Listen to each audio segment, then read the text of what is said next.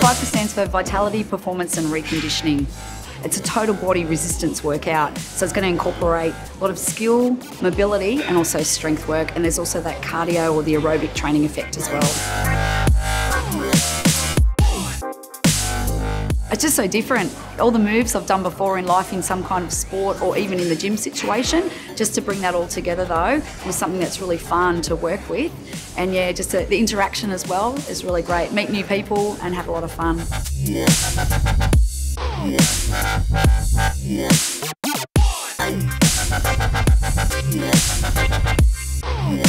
The RIP Trainer is uh, it's a fantastic new way to train. So basically what this is going to do is going to allow you to work total body movements, functional movements, using your core, uh, really being able to generate a lot of power, a lot of force and uh, have some fun at the same time.